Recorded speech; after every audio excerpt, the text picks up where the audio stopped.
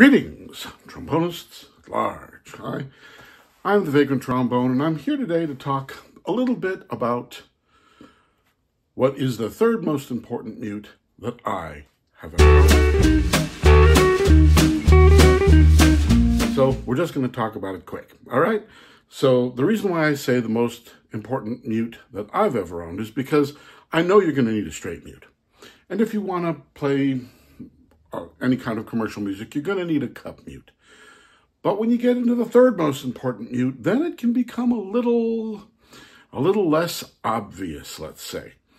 So the third most important mute that I ever needed was a bucket mute. Now this is your classic Humes and Berg Stoneline bucket. It's ancient, has dust all over it, partly because I don't use it that much anymore. But uh, this is the classic sound of bucket mute with these uh, wires on it that are covered with like cheesecloth and cheap tape and, and uh, well, not the most user-friendly of items. But you get to learn it, you get to understand it, and you get to be pretty decent with getting them on and off. But it's that classic sound.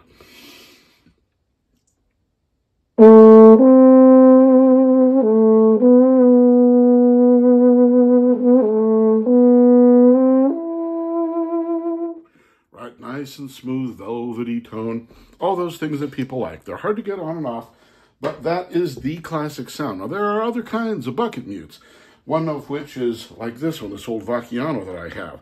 The reason why I have this one is because it's easier to get on and off, and it sounds relatively good, but it's not quite the right sound.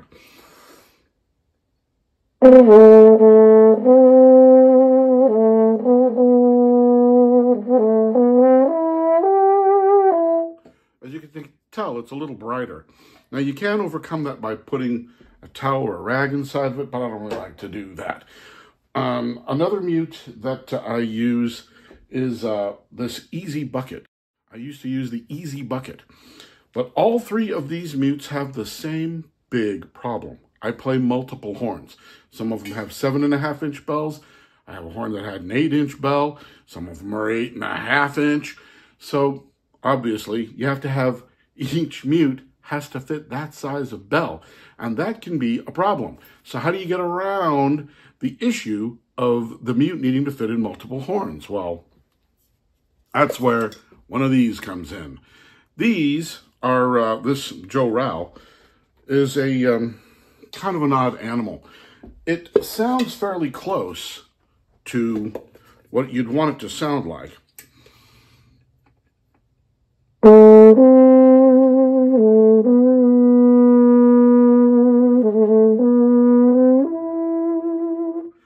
You can actually get them to sound more like the Humes and Berg by taking the cotton stuffing out of the Humes and Berg and putting it in this by removing this stuff. And you can actually get them to sound pretty close. Another inexpensive method of getting a bucket mute is one of these, these neoprene mutes. Now, I keep this in my mute bag when I'm going places. I use them for rehearsals. I don't really like to use them in bands.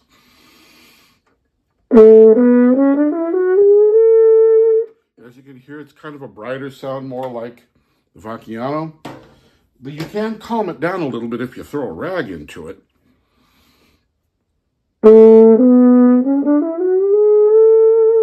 But if the rag is in a different place, pretty much every time you put it on the horn, you can get some funny intonation or, or back pressure where notes are squirrely, where you're messing up the back pressure on the horn, and you can miss notes, especially in the higher register. But uh, I do like this mute because it'll fit on multiple bells, and I can just, uh, you know, I can keep it under my hat if I need to, and it won't be a problem. But uh, really, the only, the, the best method that I've found is this kind of mute. Now, I don't like these mutes necessarily for bass trombone. One of the reasons why is because it'll stay in this horn okay. But sometimes it falls out. So I always have to kind of hold on to it. So when I was playing bass trombone, you need two hands. You can't just play with one hand. So with my bass trombone, I would either use the easy bucket or I'd use one of these. And even though I liked the Easy Bucket, the little tabs that, that uh, go over the edge of the bell, they break off eventually, no matter how nicely you try to treat it. Another problem with that mute is it's noisy to put on and noisy to take off the horn. Now, this isn't exactly quiet, but I could get to the point where I could do it with relatively little noise and get this on and off pretty quietly. The Easy Bucket, you can never get off quietly. It will always make clanking, ringing noises against your bell. That's another place where the Joral is the better mute. Now, the problem, the, the nice thing about this is this will fit in all of my horns. It doesn't really fit in my bass trombone, but it will fit in my 42, my 36, my 12, my 6, and my 16, and as well as a couple of other horns that are hidden away. And it always works. Again, the issues with these, they're, they, they crack eventually, they break, and this, I don't know what this plastic is that they use, but it doesn't glue. And so, uh, and they're a little bright. And, um, and the issue with these, they're hard to get on, they're hard to get off. They can be noisy. Sometimes they'll fall off of a bass trombone and they fall apart.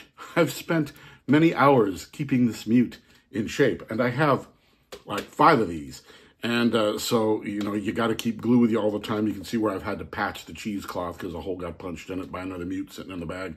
And it always seems like you see somebody who's had one of these explode in their mute bag and it's covered with all kinds of weird, fuzzy, mysterious, untreated cotton fiber stuff. And it's a mess. And then there are some guys who will say, well, all you need is a rag and a, uh, a plunger. But again, I was a bass trombone player you need two hands to play bass trombone. I needed something that was reliable to stay in my horn.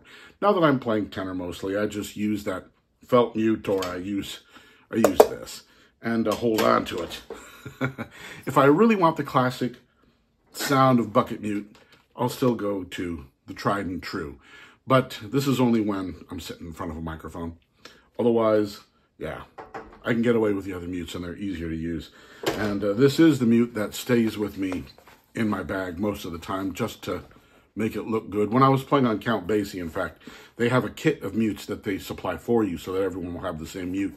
And they're using this mute as their bucket mute currently in that band. So, I hope you found this informative or, I don't know. And maybe I'll see you on the bandstand. So, till then, thanks for watching.